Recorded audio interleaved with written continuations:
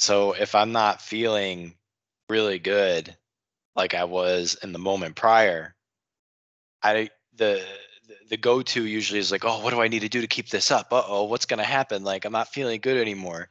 Well, I just I just use the moment as my frame of reference now instead of what happened before or what's going to happen. I just use this moment. So I'm like, oh, that's fine.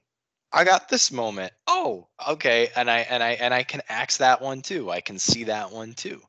So it's very it's getting easier to to really kind of like like let go of my sword, so to speak. To put down my sword is like, oh, okay, all right. There's nothing to fight here. No, no, no worries. No big deal. Everything's fine. And so I just use the moment as my frame of reference, and it's it's awesome. It's really really awesome. Um, Mhm. and another thing that that is happening is I'm seeing that I can zone in on like the nanosecond of the moment where it, it's it, it sometimes feels like everything That's is a bit grandiose. a bit grandiose. Well, Nanoseconds, you don't know. well, maybe big not is no, nanosecond. nanosecond, Like I'm not okay. speaking Let us technically say here. split second. Okay, I'm not second speaking technically here. I, I, I'm speaking like with the spirit of what I'm saying. I'm I'm not I know. speaking technically. Okay. but um yeah it's like you're it's Well- like so it's so zoned in that everything is going like really fast and really Mhm. slow at the same time it's really cool Mhm. And it's like what what i find is that there's like no thinking there's no problems there's no worries when any of that is happening and there's like a deep relaxation that happens and then i'll get like some energy sensation not energy sensations but unfamiliar sensations going throughout the body and um yeah i'm just just Mhm. letting it all be enjoying it Uh, there's a couple of points to make. One of them just a side point. Fast and slow is really relative. Just like Einstein was talking about, space time is relative. Let me give you an example of that. Uh, you are four feet off the side of the uh, railroad tracks, and a train of unknown and unspecified speed comes by. But here you are because you're only four or five feet away from the tracks. That means you're actually one or two feet from that train as it's going by like that. Right? You cannot, it going so fast, cannot see any of the writing on the side of that train. If you pull back a hundred feet, you can read you can read what's on the side of the train, but now the train is not going nearly as fast as it was before. And if you pull back a mile and look at that train through binoculars, it's crawling. mm. Hmm. So that means that it has to do, speed has to do with the observer. Mm. And so um, the closer we are to stuff, the faster it seems, and it's and and it's uh, oh oh too much. Mm. But if we begin to get some distance, it's not that the train or the mind slows down; it's that we can see it because we're getting some distance from it. But when we Mm. are the mind, then it's lickety split. Mm-hmm. Mm-hmm. They're my thoughts. Mm-hmm. So that's an important point to recognize that um, uh, that by slowing down and getting some distance, we can actually see things that are moving faster Mm. than before. Mm. Cool. hmm Yeah, and it, So- it's it's interesting. It seems as though what I'm seeing when that phenomenon is happening is I'm seeing the the experience prior to identifying with something or or prior to this is me or this is an opinion or this is like prior to identification i guess is what you could say. It's it's like it's like unlike anything ever. I have my eyes like this. I think i'm like some kind of crazy man but really i'm just I'm vibrantly alive in, when mm-hmm. that happens.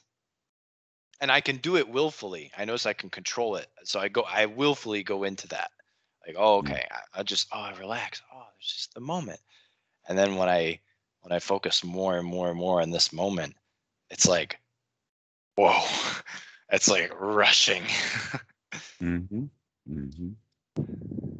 Well, um, first off, congratulations for the fact that you are making some progress. And not only that, but others on Skype and uh, uh, on the uh, comments are noticing that you're making some progress. Mm, The progress that you're making is typical, that in fact, uh, because I've got some distance from it, I can see, see you as that slow moving train coming down the tracks. but Hmm. other students are very much closer to their tracks. And so they're seeing things go lickety split. Okay, so it's a matter of one's perspective. And with the perspective uh, that I've got, I want to congratulate you for actually beginning to uh, make good progress. Thank you, Dhammarato. And Appreciate it. and that um, a lot of what is going on is, in fact, that whole idea of the rules and getting it right according to the rules. Mhm. and that it is absolutely Sorry. it's that it's absolutely mind blowing to recognize that so many of the rules that each one of us has accumulated over our lifetime are contradictory, wrong, sometimes upside down, and actually, um, while the intention is to take us to a good place, the rules wind up being the the good intention that is the highway to hell. Hmm. Hmm. Right. Um, and that a, a very clear example of that, uh, but there's many hundreds of them. But this is kind of uh, one of the biggies is if you don't work, you don't eat. And yet, in any particular generation throughout human history, that was not true. It's not true for most, let us say, millions of people, and people are beginning to figure that out.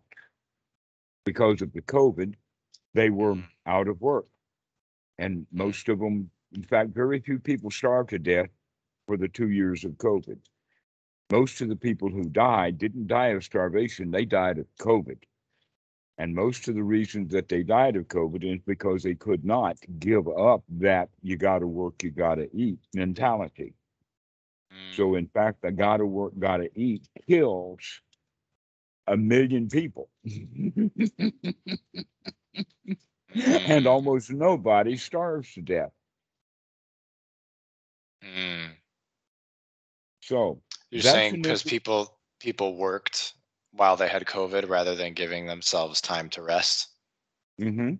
Yeah. and look at how many people didn't go to work Right. and they were fine. that when you're in the work environment, in fact, um, uh, safety and security are rarely the issue. Money making is the issue. And why is that? Because of that baseline rule if you don't work, you don't eat. Hmm. And so we have fear of uh, not doing what we're supposed to do. So in the practice now of Anapanasati, uh, one of the things that you can start to become alert for is the rules, because all of the rules that you've been keeping and making has what's kept you, in some regards, not moving even faster than you could have. Because every time that you, um, let us say, hit a, hit a roadblock, that roadblock is actually um, a rule that you've made for yourself hmm supposed Mhm. to do this or you're supposed to do that. And one of them would be that, oh, now that I've got this bliss, I'm supposed to keep it. Yes, exactly. Yeah. When I'm I supposed told to keep you it. can't do that. Yeah. Or also, It's or also that I- to be developed, but Yeah. you turned it into a supposed to. yeah. But it's it's interesting because like what I'm noticing is when I do that, I end up disappointing myself. Like, right? There ends up being great Exactly. disappointment, great expectation. There ends up being like the ditch. But if I cut it there and I see the thought, oh, I'm supposed to do this, and see the worry of going down that spiral, and it could be like, oh, gotcha. I got that Mhm. one. If I can do that, then what I can then what I'm left with is like a grain, a little grain of worry or a little grain of concern. Oh, what what, what do I need to do to keep up this? It's a little grain as opposed to this big mountain. And that grain becomes so insignificant when I take the next breath. When I enjoy this moment. When I acknowledge myself for the seeing of that success. I'm seeing more and more and more through the illusory nature of of like the stickiness, illusory stickiness of these thoughts. This is one of the reasons why I keep coming back to that silly little phrase. There's nothing to it. There's nothing to it. There's nothing Yeah, to it. see, it was great big when you saw it, but now it's become like a grain. And uh, the grain, yeah, there's nothing to it. Yeah, and what's interesting is like even though there may still be that wanting for that bliss, I can still see that too. And here's the thing, right? By comparison, I would rather have a grain of wanting than a mountain of wanting. So that grain of wanting, why even though I want to get wanting, get rid of wanting altogether and I want my bliss, okay, sure. But if I can accept that grain of wanting and say, "Hey, this is good enough," I've already won. Okay. Already won. That's actually what you're now speaking at is um, basically the introduction would be from Bhikkhu Buddhadasa says um, two phrases that are deeply interrelated in the sense that it's the same phrase. One, he talks about a mind that's fit for work. And the second one that he talks about is wisdom at the point of contact. Now, these are actually the same things. One is actually referring to the first jhana, and the other one is referring to what to do in first jhana. Getting the mind fit for work is then the first jhana. An example of that, an easy example, is reading an article. Is your mind fit for reading that article? Most of the time, no. Most of the time, the mind will wander around while we're reading an article. It's not fit to stay focused. And so the other side of that is wisdom at the point of contact means at this moment, is your mind fit for the work of looking at the uh, the way that our thoughts that are formed contact us for feelings. That in fact we're talking about in the Paticca Samuppada, Salayatana, Phassa, and Vedana, which is right there in the middle. Okay. now, uh, the Salayatana is the result of perception. In other words, when you perceive something, what is the result of having perceived? The answer to that is it's a mental object. It may be a concept. It may be uh, um, visual. It might be a sound, but that, and it may be also extraordinarily fast, or it may be ruminating and slow. That in fact, that's one of the things that most under, misunderstand. They think that when they hear about Paticca Samuppada as being a sequence of events, that some people think that it takes hundreds of years for that one cycle to go through, and others think that it that it no, it happens split, one step for a tenth of a second, one step for a tenth of a second, right, like that, very choppy and very very fast. But the reality is, is that sometimes we get stuck in perception for quite a long time. And then what we can keep coming uh, up with in, while we're in perception is we do perception again and again and again, and we always come up with results that are confusing. In other words, we haven't figured it out. We don't have the answer. And that contacts us And so we spin. In other words, we're not taking any new input. We're just trying to refigure it out and refigure it out and keep coming up with no solution. This gives rise to a different kind of feeling. That so there's actually, uh, according to the sutras, three kinds of feeling, and according to Bhikkhu Buddhadasa, there are four kinds of feeling. And so let's talk about the first three and then how the fourth one fits into place. And that is, is that when we uh, are impacted by something, it's going to push us into one of three kinds of feelings if we do it ignorantly. If we are wise, then we can choose how we're going to feel. That's the one that Bhikkhu Buddhadasa says is the fourth kind of feeling. And most people would say, well, there's ignorance and then there's wise, which means that if there is ignorant, greed, ill will, and confusion, then that means that there should be wise greed, ill will, and confusion. And that's not true. When you have wise feelings, then you can feel the way that you want to and behave wisely according to it, rather than be driven by either the greed, the ill will, or the confusion. Now, the point here is, is that in the suttas, this confused kind of feeling is either referred to as asukha adukkha vedana or sukha dukkha vedana. And almost always, because of Western bad translations, they translate this as a neutral feeling. And guess what? A neutral feeling means that something didn't contact you and you have no feeling. There's nothing to that. It's not a neutral feeling. It is you don't know whether you like it or not. It's a confusion. Mhm. Mhm. Okay. And that confusion then almost always leads into, um, let us say, it has the propensity when there is no wisdom, confusion goes to fear, Mhm. which also is ill will. So ill will is automatically ill will, and confusion. In other words, if you see, let us say that you're an army officer with binoculars and you're looking down below into the valley, and here you see some people on horses coming. And you do not know who those people are. They may be cavalry or they may be war Indians on a warpath, but you can't see who they are. Right? what are we going to do? We're going to keep looking and keep looking and keep looking until we figure out who they are, right? Why? Because that feeling of confusion has the quality of danger. They might be dangerous.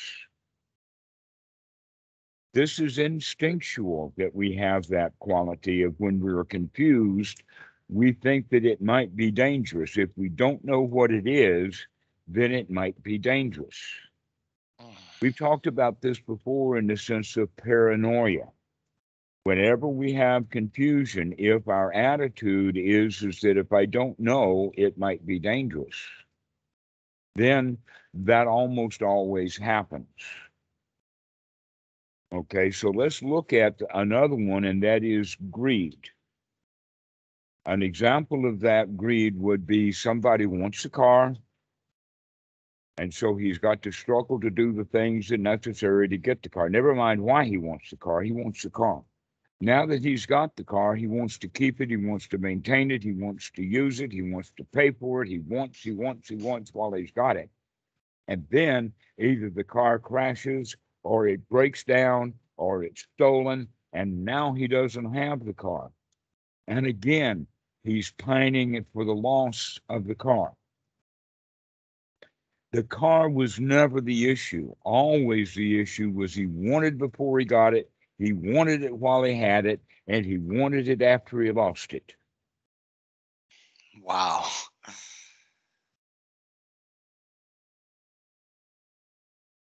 Hmm That is a real wow because that's something that we do not understand and we don't like it because we think that if we like it, it must be good. And here we're saying, no, if you like it ignorantly, then you want it. And because you want it, that wanting itself is dukkha. So all three of these Vedana create dukkha. Ill will is obvious dukkha. Confusion becomes ill will. And now we're seeing that greed also leads to dukkha. All of these feelings lead to dukkha unless they are wise feelings.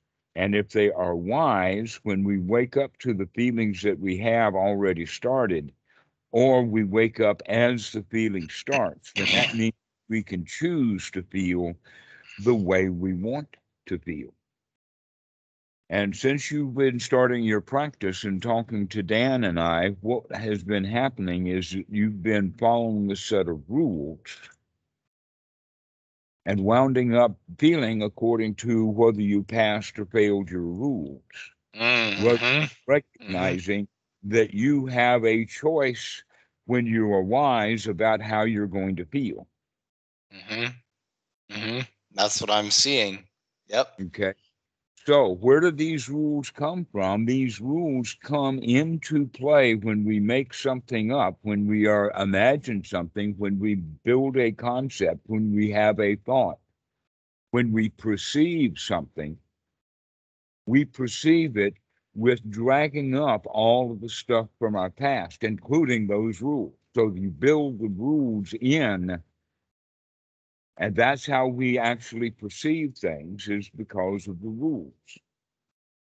And so therefore your uh, the thing that you come up with, your result has the rules built right into it. All right. And now the what's impacting you is not what you actually observed, but it's the rules that you perceived into it.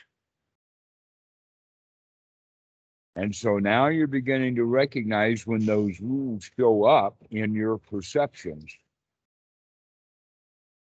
And so that means that now when those perceptions hit you, they don't have the weight that they did because you're well, you're wise to the way that those oh that's just a rule that has been made. And that's why I wind up wanting something. Mhm. Like you, I mean, why here's the, the funniest question that I could possibly ask any student. Why meditate? The you answer want- is because you're suffering. I want freedom. Why are you yeah. suffering? Because you want something that you Yeah. don't have. Right. Okay. Mm. Mm. Why are you suffering? Because you want something that you don't Something. have. Yeah. Yeah. And here we're practicing, according to the Buddha, of practicing now to become satisfied. In other words, now we're beginning wisely to take control over our feelings so that we can like things the way that they are without having to follow a rule that I've got to go get it. Yep.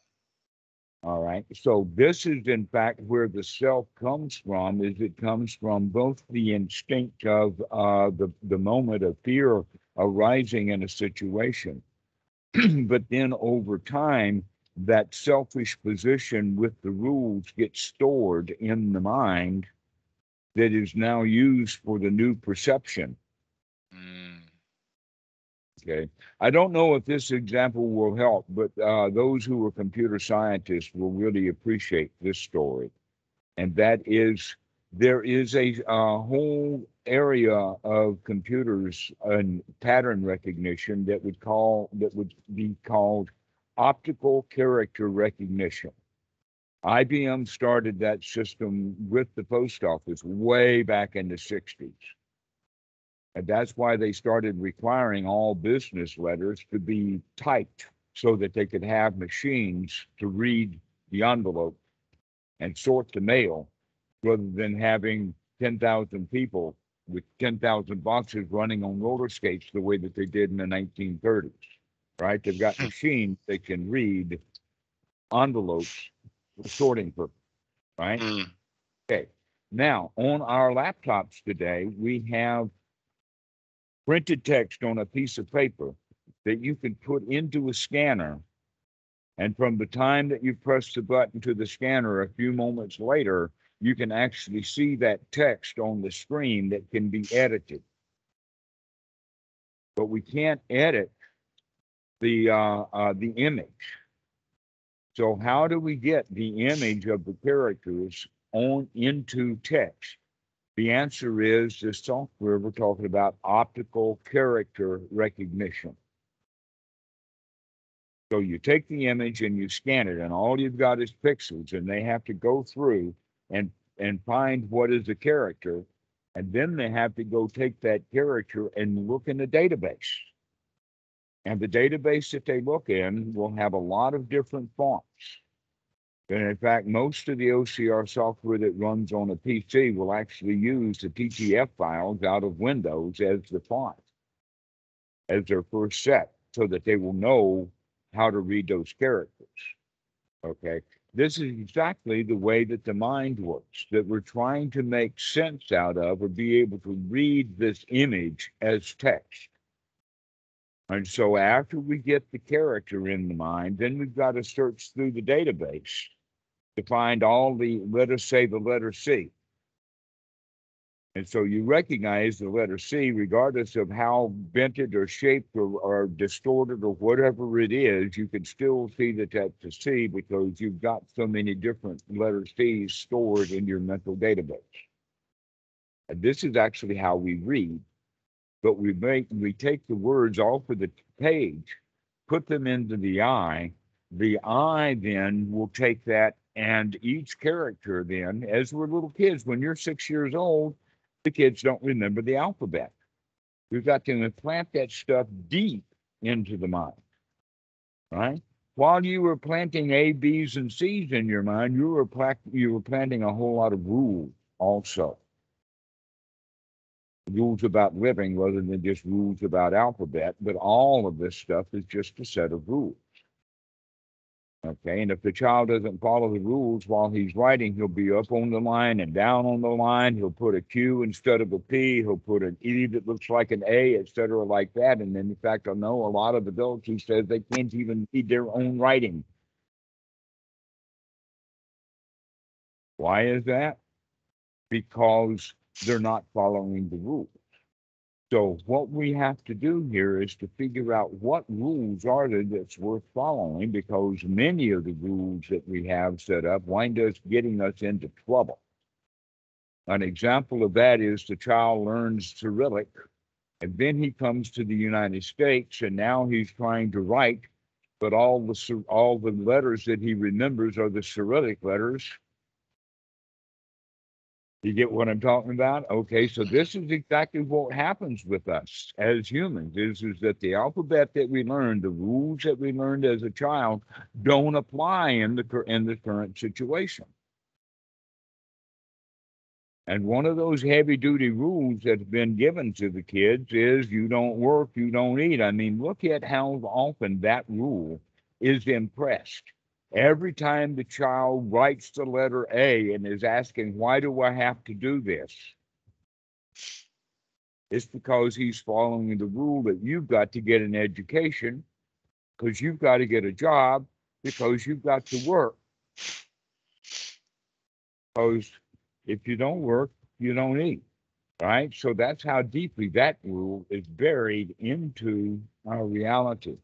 And so here the Western student brings that rule into meditation.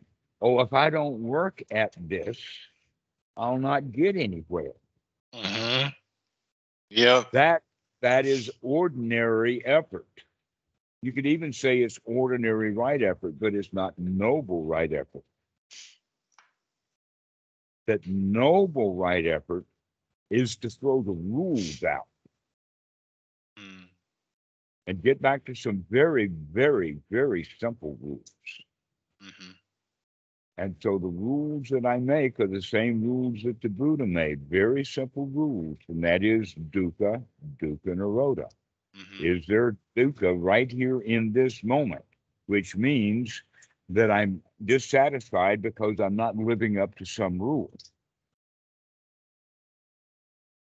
All right, so that's the new rule that we can follow is, is that it does not matter what's going on at all in meditation or otherwise. The only question is, is am I satisfied? Because satisfaction is the exact opposite of the dukkha, which is unsatisfactory, dissatisfying. That's all we're looking for is just being satisfied.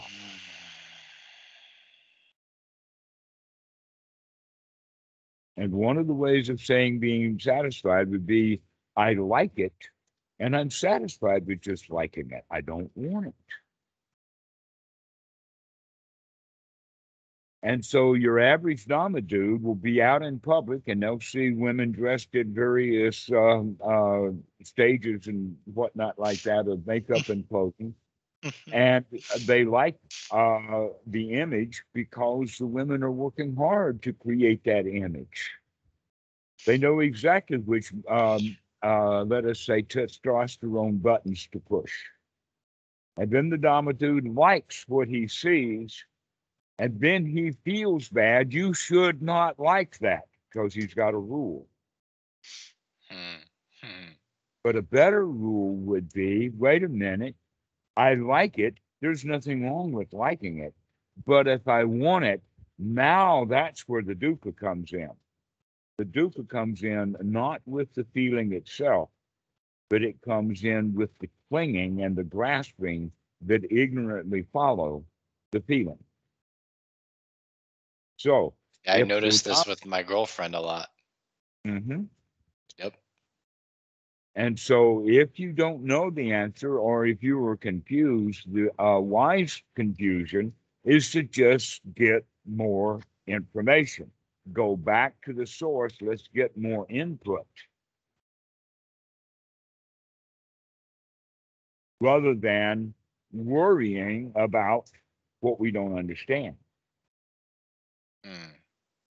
Okay, so uh, trying to figure it out, I guess, is what we're talking about here. Like trying to figure out how to not want it. Anything, try to figure mm. out anything mm. when in mm. fact all really is going on is we don't have enough information to figure it out. But you're following a rule, you're supposed to figure this out. And basically, the rule is I do not like how I feel when I can't figure it out. And I want to feel good and the answer to that is you can go ahead and feel good without figuring it out. And you might have, in fact, figured out when you get enough input data. And so just patience, that will help us to feel good. Mm. Rather than that confusion that's driven us, oh, I've got to get an answer to this because I don't like not having an answer. Mm. Because if I had an answer, then I would like it, and then I could feel good. Okay, so this is the whole quality of learning how to treat our feelings wisely. Is that you can, in fact, have the feeling of confusion, and that's absolutely satisfactory that you don't know what's going on. Or there is the issue of ill will. Or let us say, um, here's a really easy example. Um, this comes out of the Vinaya. I don't go. Let's not go too much detail into the uh, the various aspects. But there was a monk who was a cousin and kind of a half brother to the to the Buddha. His name was Devadatta. And like most of the people in the Buddha's family, he ordained also but he remained very jealous of mm-hmm. the Buddha and wanted to take over the Sangha. And the Buddha would not allow him to do that. But in fact, it was several points of confrontation that even Devadatta tried to kill the Buddha on three different occasions and missed. But and we can see that in the, the process that the Buddha had ill will towards what Devadatta was doing. And he criticized him royally, just like he's criticized other monks. Things like you don't have a uh, shred of wisdom. You have mm. no clue about what you're talking about. So the Buddha being a bull, can you imagine that? That that people sometimes get really knocked over by the power of the Buddha and his not liking. Mm. Okay. So the Buddha also had not liking. He had liking and he had confusion. There was a lot that the Buddha didn't know, Mm. that was okay with him because he knew enough. Mm. In our society, we have the idea the more the better, the more the better, the more you get, the more money you get, the better, the more wisdom, the more knowledge. And people sometimes have two, three, and four PhDs. Yeah. Okay. The more knowledge, the better. Well, guess what? Knowledge, as far as science, religion, and archaeology, and many, many things of science, etc., like that, politics, didn't even exist in the time of the Buddha. 90% of all the knowledge that's taught in a university, probably more than 90%, didn't even exist in the time of the Buddha. But Mm. what he did know was sufficient to have a happy life. So, this is another way of looking at it is, is that we have uh, a rule that says the more we know, the better. Not true. It's just a rule. It's a rule we learned in childhood that we don't need to know very much. What we need is to know enough. And what is enough? Enough to be satisfied. Enough to know that this is dukkha. hmm Exactly. Enough to know that wanting something you don't have is dukkha. You can like it, but you don't have to want it. So, like, what a good example of that confusion that we're talking about, right? If you don't necessarily, obviously, whatever that is that revolves around the confusion, you don't know why it's that way because that's the whole reason why there's confusion in the first place. You're trying to figure something out. Mhm. But if you can see the confusion, right? Or if you can see that thing that you feel like you got to know and you can be like, oh, dukkha, ha, gotcha, got that one too Mhm. you've you've already won, right? Because that's that's staying It- that's you know enough. to know well, that, that it's in that moment, yes, that's that moment. winning. In Yeah. that in that moment of, of waking up and seeing this Yeah. is dukkha, yeah. so that we can deal with it immediately. Or you could also say, wait a minute, I've wake, woken up enough to know that the direction that I'm heading is into dukkha. Yeah, right, right. That too. Yeah. Okay. That if we wake up at that point of contact, then the feeling of liking doesn't go into the feeling of wanting, and going into the feeling of wanting, then. So, uh, an example of that, I talk about a rabbit hole or a rat hole from time to time. And because that's very excellent uh, teaching of the paticca samuppada. That um, let us say that we see the rat hole. And what we see is actually uh, impacts us so that we notice it, we turn towards it, we look at it. Okay. And then we like it. We see it and we like it. All right. And that's all that we've done is just turned and looked. And now we like it. So the next thing that happens is that we take a step towards the rat hole. That's the wanting it taking a step in the direction of wanting it. Okay. And so now we want it. And the first step into the rat hole is now the clinging. And as we step into the rat hole, we go into now the existence is rat hole. This is where we live. Guess who lives in a rat hole? The rat. Okay. that's that's the ditch analogy basically. That's it right yes, That's it. Yeah. Okay. Except that the funny part is, is that what was the process of becoming the rat? The entering and going into the rat hole is Yeah. what's created the rat. Yeah. Before the rat went into the rat hole, the rat was just a human being. But when he went into the rat hole, that's when he became the rat. Would you say that's also another way to describe ego? That's exactly what I'm talking about. The rat Yeah. is the ego. Okay. I am the rat hole. this is so funny because like everything you're describing, I can see this happening in my own experience. Whenever it happens, I can see it happening. Yeah. Mhm.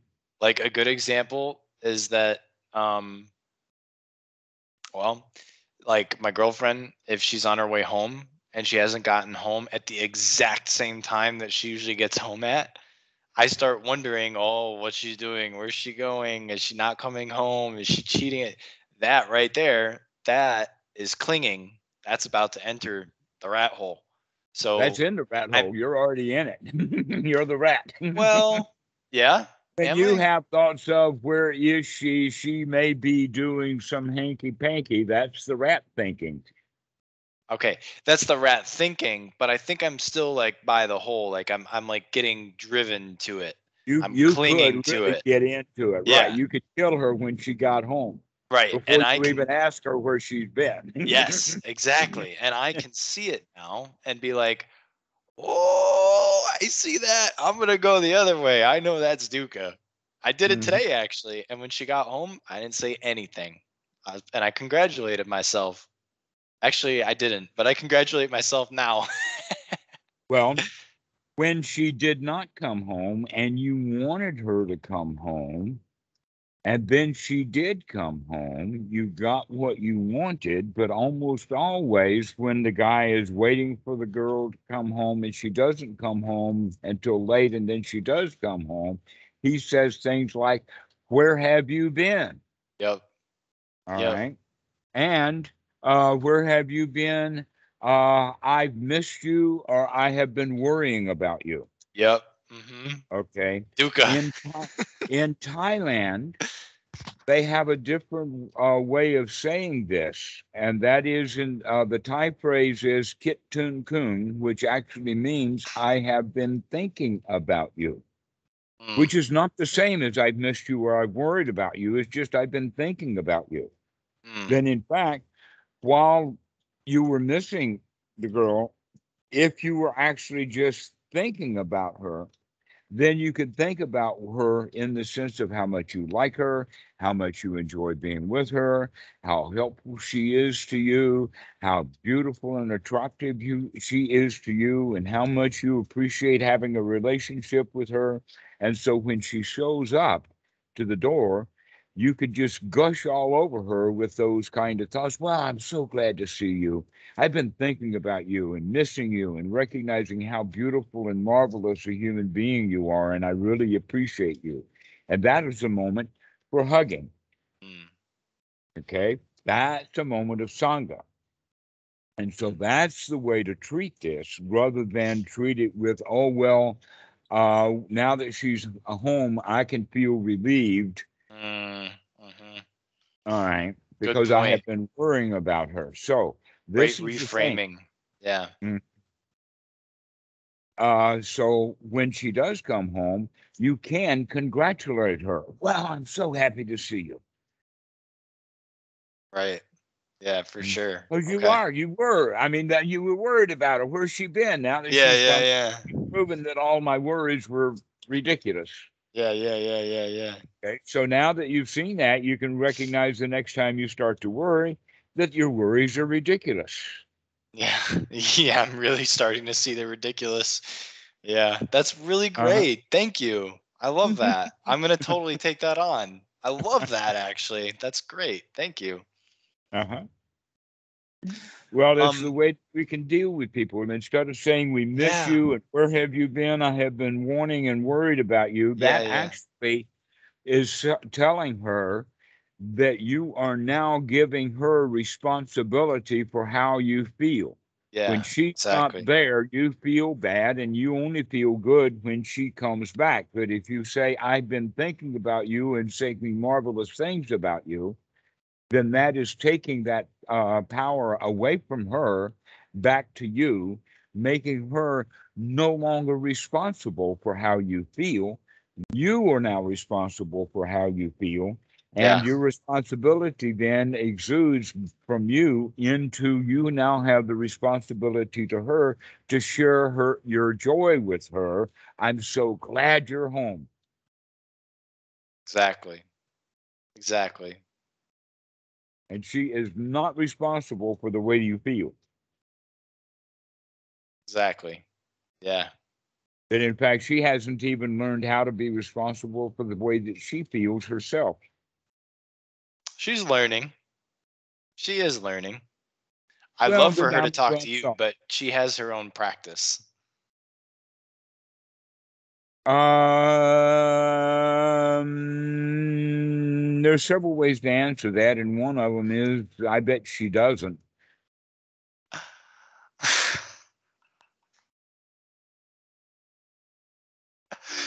well, why do you say that? Um, you haven't even talked to her. How do you know? well, I'm talking about the human mind. I know. Uh, let us say that um, people do this a lot with me. They talk about Dhammarato's method. Uh, Steve J- James talks about it like that. Others will talk about it. Damarato don't, don't got no method. I have to give credit where credit is due. And there's nothing here that I personally manufactured. This is not my method. It may be my understanding of the Buddha's method, but that's the, the first point. The second one then would be any student who goes to a teacher, then that student, when he is saying, I practice what I practice, what he's either saying is, is that I'm practicing according to the instructions of the teacher or I'm not. But whose practice is it anyway? Mm, mm. So, Yeah. just from the perspective of a teacher's paticca samuppada, I bet she does not have her own practice. That's delusional. That's delusional thinking. No one has their own practice. That in fact, there's no such thing as a practice. Everybody does a whole bunch of stuff. Well, um, I mean, yeah, we're speaking on the relative level here, right? Because when I talk about my practice, I'm still talking about my practice. But um, You can take the my off and just talk about practice. well, yeah, of course. I'm using mine in there, you know. Yeah, You you started that game already. I know.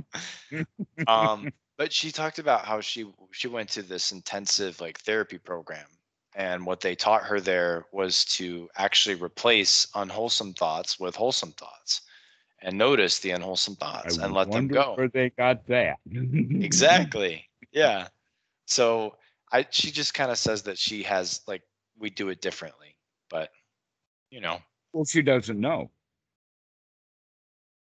what do you mean she doesn't know she doesn't know Well, she hasn't talked to me. She's That's only true. heard what you've had to say. that's true yeah And she hasn't discussed what she's been practicing. But when you say that she went to some psychotherapy thing, I, I say, well, I know what's all, all about. And now you're saying that somebody in psychotherapy is said to replace unwholesome thoughts with wholesome thoughts. And I say, Yeah. well, I bet I know where they got that too. yeah i love i'd love for you to talk with her but you know i'm giving her her own space to Mhm. to to work that out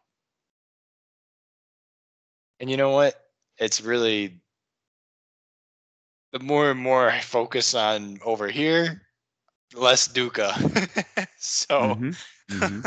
we'll take care of that first So here's the, the uh, one of the ways of looking at that is is that she's absolutely practicing the correct thing, conceptually at least. Mhm. The question is, how does she identify what's an unwholesome and what's a wholesome thought, and how often does she do that? exactly yeah And Yeah. maybe she only does it when you're trying to get her to talk to me.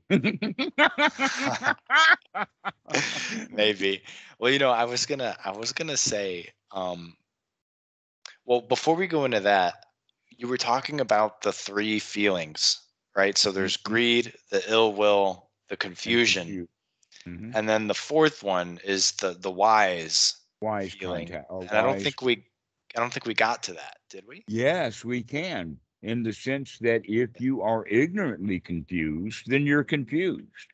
If you're wisely confused, you're satisfied with being wisely confused and you're just waiting for new information. Okay. If you are uh, ill will and you're ignorant in your ill will, then you'll blame somebody else or you'll say, poor me, or you're a victim, or any of that kind of stuff. But if you have wise ill will, then from the position of the Buddha, you can point out wrong behavior and bad actions in others and do it in a kind way, whether they receive it in kindness or not. But that's one of the things about uh, this that is kind of hard for most of the Westerners to understand from the perspective of, let us call it pride. Because in uh, in our culture, uh, pride goeth before a fall that someone is egotistical when they're prideful that when we uh, when someone is a bully that means that they're trying to intimidate someone else to do something for the advantage of the bully. Hmm that the bully is getting something out of it.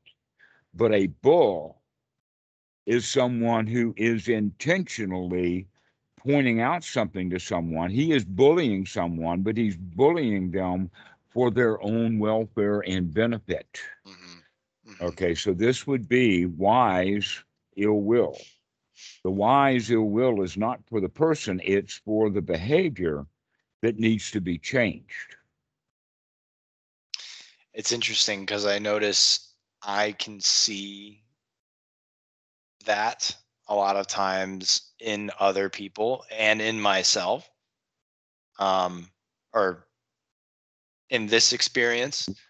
Um, and what I've noticed is that there still is like a tinge of ill will in this experience, even though I can see, oh, I should point that out to them because I know I can see clearly that Mhm. that is obviously a path of resistance that they're taking. I can see the Well, let's say that they're can see they're being this is ignorant. dukkha. This is suffering. Yeah, yeah, This- I can see exactly. I can see clearly this is Dukkha. Like Mhm. I know what path they're going down, and I want to Okay. say something. But sometimes in the saying of that thing, I can see my own intentions of ill will. Mhm. All right. Now here's an example of Does that. Does that make sense? Yes, Like, it does. Arrogance Exactly, or ill will. let's- Yeah. Okay, so uh, one of the topics that we can look at is Sutta number 86, the Angulimala Sutta. Now, basically, you look at the word Angulimala, you know the word mala. But Anguli is the same word as angle, which also comes with our word finger. And basically, Angulimala was a, uh, a murderer who had a task to do by his Brahmin teacher. The story is is that this uh, Angulimala guy wanted the daughter of his teacher, and the teacher wanted to have nothing to do with it. And he says, "Okay, you got to go kill a thousand people and bring me the right baby finger of each person, and when you kill a thousand people, you can have my daughter." Hmm. I mean, this is ancient times. We have this kind of ridiculous stuff going on, you know. Okay. And so being a good Brahmin student and all of the common, all of that, well, my teacher told me I got to go do this. And so he's out doing it. During that process, he became quite infamous. And they were hunting him down, but uh, the Buddha actually did track him down. This is how much the Buddha cared. He actually tracked down Angulimala and got him to stop killing people. He became a monk. And then later in the story, the king comes by with all his troops, King Pasenadi, and uh, uh, asks the Buddha, Have you seen Angulimala? And the Buddha asks him, Well, what does Angulimala look like? This, that, and the other thing. And then he says, Do you see any of the monks here? And he's pointing right at Angulimala sitting there as a monk and says, Do you see who you're uh, looking for here? and uh, and uh, whether or not King Pasenadi recognized Angulimala or not, he did trust the Buddha enough that he actually pulled out his forces and went home. because the Buddha actually had pointed out that the problem has been solved. And the problem was solved with rehabilitation, not revenge and not punishment. Yeah, and that's interesting. That's sometimes what comes out in my intentions revenge or punishment. hmm hmm Right, Especially Which means- revenge. right, because the bully wants revenge, the Mm, bull wants rehabilitation. Both of them are based in ill will. One is ignorant, and the other one is wise. Mm. Does that help? Does that clear that up for you? It does. Yeah. So like it's interesting though because okay, so yesterday my girlfriend and I we were driving to um, up to northern Wisconsin. We went to these really awesome ice castles for Valentine's Day. It was beautiful. Um, but as we were driving up there, there was just one complaint after another. And I was listening to like it was like, oh my God, I don't want to I don't want to be behind this truck anymore oh my gosh, this traffic Ah. sucks. That And- would be a very easy thing for you to do is to merely ask her the question of, oh, do you remember that psychological thing, people group that you were talking about? And she Uh, says, yeah. And then you say, well, is the thoughts you're having right now, are they wholesome? I know, I know I can do that, Mm. but she gets irritated sometimes. when Okay. I, and then uh, you can say, look at your irritation. I thought that you were practicing having wholesome thoughts. Just reminder. I know, I know, yeah. that's, and I that's and- that's the job that you could have when you don't like that she what she's doing. You can remind her that she could be doing better, you're right. You're right. I can. But what You I can. wanted to say, and she will not like it the first time. Mhm. You know that story that I've told you. Ye shall know the truth, and the truth shall set you free. But first, it ticks you off. Well, it's going to tick her off too. We have to be ready for that. Yeah, you're going to tick her off maybe a dozen times or more, but pretty soon she'll hear it. Yeah, it's like some sometimes though. What I notice is I'll I'll want to be like, mm, I want to say something. Sometimes it feels like it, I have to compromise my joy, or my joy is affected by that. My satisfaction. Well, that's your rule, effective. isn't it? You're That is a supposed rule. to feel how you're told to feel. That is a rule. And um, so what I do instead sometimes is I just shake it up. I'm like, yeah, man, that truck should just get off the road. Like, why is it even drive? Like, we should just like we should just you Yeah, know take all truck drivers out of business. the other one. Eh? Right. Yeah, just put them out of business. I mean, let's be silly about this. Let's Yeah. have some fun with this. Let's not get all serious and really want to hurt truck drivers. We're just trying to get the truck driver. And by the way, the real truck driver has got nothing to do with this. It's a truck driver in my mind. I know. I know. All I'm seeing is the backside of a truck. Well, That's all I really see. Well, And Domerados, everything else is mental. it's true. Well, Domerados, sometimes, sometimes she'll tell me, she'll tell me that I'm I'm talking like I'm superior or I'm like condescending. And honestly, Uh-huh. sometimes I don't know the difference. I don't know if I'm just Oh, pointing listen out. to her wisdom. listen to her so that she can hear okay that she's got some teachings to teach to you Mhm, I do, and I do so- listen. Yeah. when she so when she is saying that you're condescending then you can say okay how can i state this without being condescending and the two of you can work that out so that she doesn't feel like that you're superior and you stop feeling like that you're superior in fact let's go back to that issue of pride for just a moment Okay. in the sense that uh, in uh, Buddhism, we see things completely different than in Christianity. In Christianity, they say pride is bad, and the good would then be humility. Right? Pride and humility; those are the two concepts that they have with uh, within Christianity. Mhm, Both of them are losers' positions. mhm, Okay. The winner's position is kind of different in the sense that there is no pride because there's no competition. There's nothing to be prideful about. Mhm. because pride is always uh, in fact when there is competition we set it up so that we go in one of two directions we either lose or we win this um, false competition. And if we win it in our mind there's pride and if we lose then there's jealousy or envy or wanting of revenge. Mm. but it's always the competition that's in our mind and people compete. I mean this is a very competitive society. And so learning when you're competing with your girlfriend rather than cooperating with her would be a new way of looking at dukkha is, is that you're Oh, competing with her rather than cooperating with her. mm. Okay. You can still be the bull and cooperate. Or Such a good you point. can be the prideful bully, condescending. So Yeah. the point is, is not uh, whether you're going to be uh, pride or envy, because both of those are losers' position. The better way of looking at it is, are you going to be a bully? Are you going to be a bull?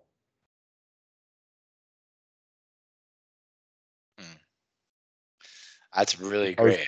So, so I can start to see when there's a tendency to compete. I can see that as dukkha too, Mm-hmm. because that is com- competition is based in greed and ill will. Yeah, actually the base of it is fear, delusion, competition. competition. Hmm. It's based upon am I good enough? Can I Hmm. survive? That's part of the uh, that's part of the delusional or the uh, the Hmm. ignorant or the confusion that's fearful. Hmm.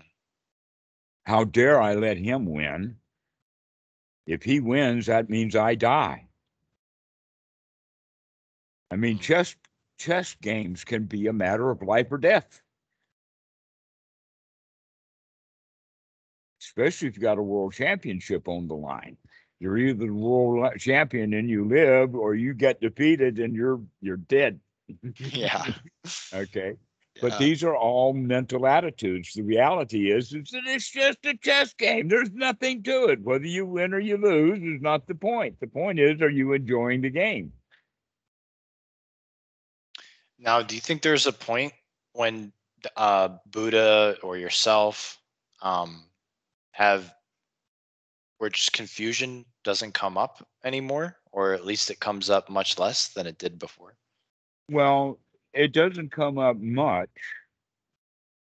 And when it does come up, it comes up wisely in the sense of we know that it's confusion.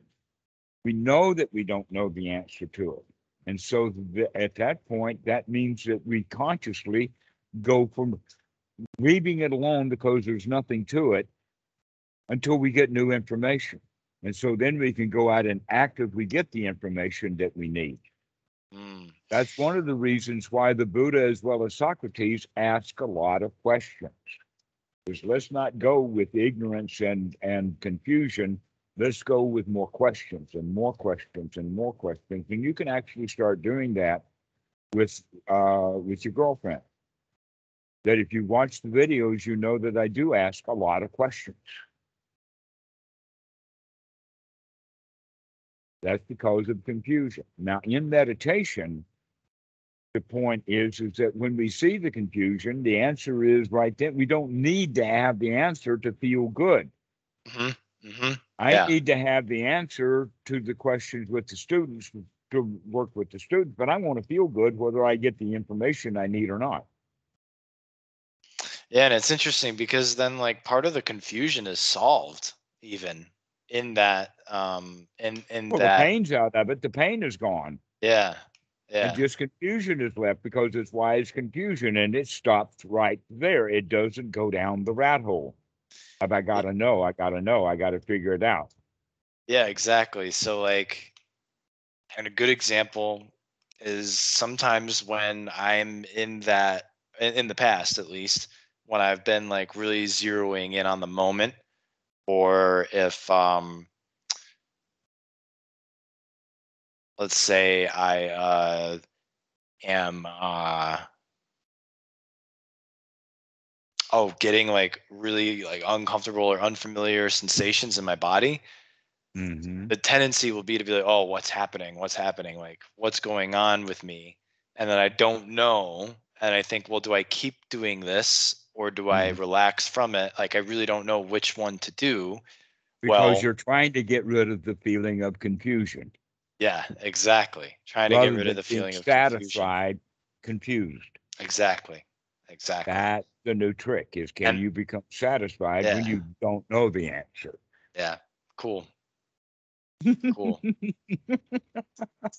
and that's that's kind of like what I figured out today. Like I I saw I I Dhammarato, it's so cool. I'm literally seeing when that thought comes up, that old rule of like, I gotta keep this up, or there's something I gotta do, or like, oh no, what happened to my joy? Or and I'd be like, wait a minute, this moment, all I need is another moment. I got it right here. I know. Nothing's wrong. Everything's fine. I gotcha. Like I'm able to like see these things and and and and and um another one that Dan was saying, he's like, you notice like you'll you'll want to you'll want you'll want and have longing for the these things that aren't present rather than focusing on the things that you do have the good the- capitalize on the good on the wholesome. So Mm. i'm just like i'm spending much more time in that and noticing that that's okay. I, I don't have to i don't have to go down those rabbit holes i've been in them i know what the dirt smells like exactly. Rat, been there, done that. I know what the dirt smells like. I know what the worms taste like. Okay. I've I've come up now for a carrot and I'm satisfied with my carrot. Thank you. Excellent. Excellent.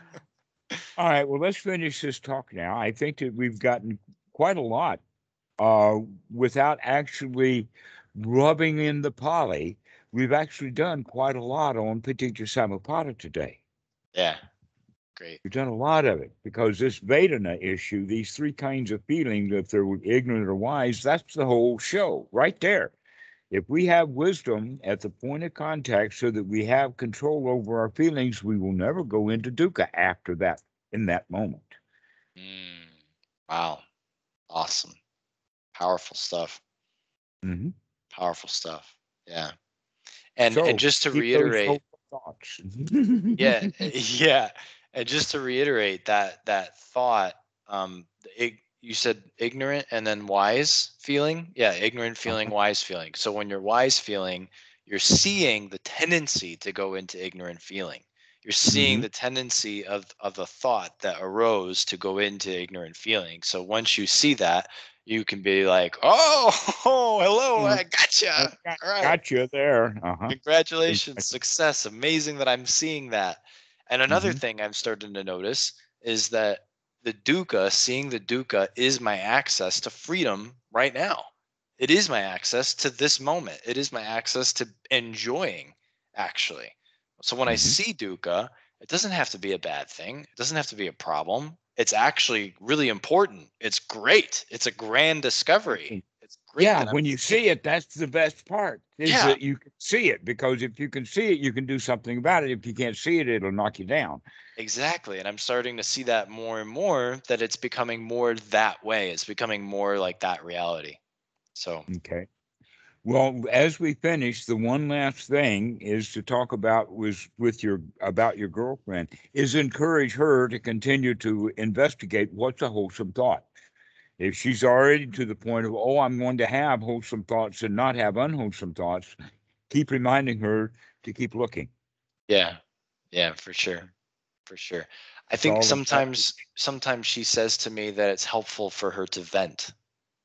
It's helpful for her to vent and just share. It's just helpful for her to just get it out.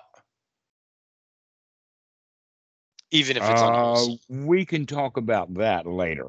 I've got some points, but we'll we can finish that later. I'm sure you do. I I mean my answer to it already in my head is like well, you're kind of engaging with dukkha. You're you're swimming in the mud there. But there Yeah, is and the other but- one is that she's slinging it at you also. That Mm, she's got a vent. Say, okay, well, you vent. I'm going to take a hike. I'll be back Well, you you just sit here and vent. You just say anything you want to say, but I'm leaving. I don't think she would like that very much. well, then she would vent while you're on the way out, wouldn't she? so you just keep venting. I'm out of here.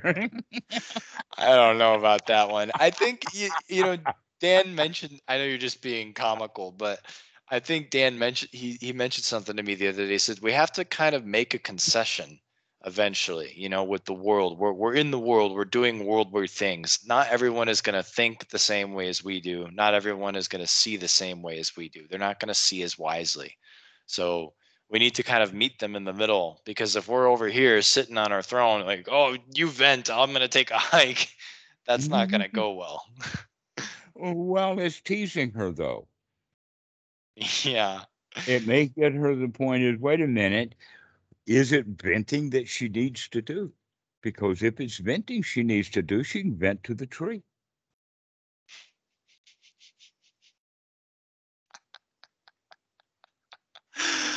oh man i don't know about that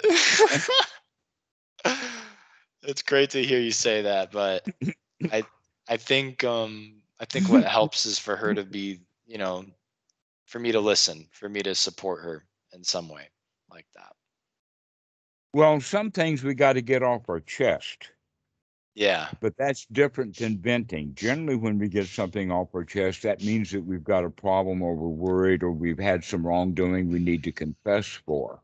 Mm, But venting is often just yelling and in rage. It's just you got to do something with the anger. yeah she Uh-huh. she does The psychologist, we can talk about this later, okay? Because Yeah. there's a lot to say about it. But the psychologist screwed that one up quite big time, and now all the people are still following what the psychologist screwed up 50 years ago. And we'll talk about that later. But venting is not the right thing to do. Okay Now, people will say, oh, well, if I don't vent, that means that I'm bottling it up inside. The answer to that is, well, pop a cork right now and don't bottle it up inside. Just drop it. just throw it out. You don't have to throw it out in the sense of venting and you don't have to bottle it up. You can just simply drop it. and she knows how to do that too according Mhm. to her she says she does that as well All right. Well, the next time she says she's got a vent, you can say, "Well, I'm going to take a hike," and now you can have a uh, have a uh, um, a decision: Are you going to vent or just drop it? oh man that's nuts all right but more about venting later. Let's finish with this one and uh, just see that it's all a silly joke. Just nothing to it. nothing to it Nothing to it. okay all right Dhammarato. thank you All right. We'll see bye you. bye Bye bye.